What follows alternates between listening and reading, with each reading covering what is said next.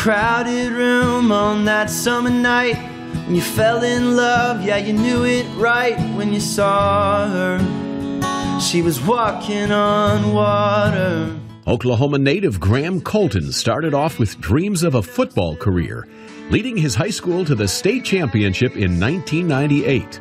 But even then, much of his time was spent playing music. Music's always been a part of my life. When I played football in high school, I would play on Friday nights, and then on Saturdays, I'd play at a Mexican food restaurant. Um, and that was kind of my thing. You made it that one horse little town. Told yourself, wouldn't that nobody slow you down? You Graham Colton's new CD is Pacific Coast Eyes. His approach to this album was very different from his previous recordings. It's my third full length album, and this one is entirely different because I'm an independent artist again.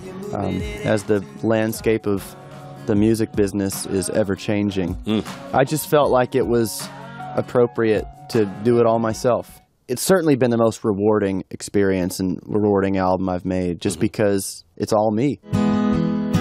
Some say that life you can't rewind. As an artist, Graham says he doesn't consider himself a singer. He believes he just happens to sing the songs he writes. As a businessman, Graham feels today's technology has opened new doors.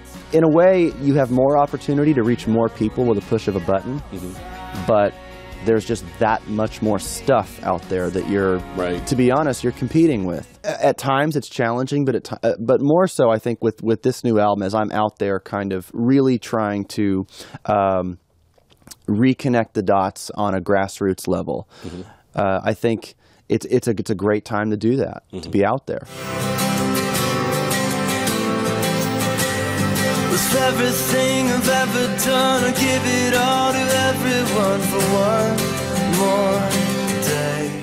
Graham admits he likes to be the leading man in his music and creates characters in his songs.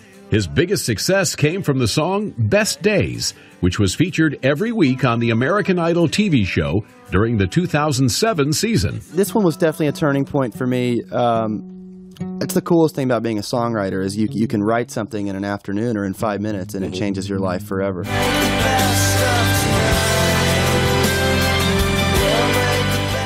Graham Colton is on tour in support of his new CD, Pacific Coast Eyes.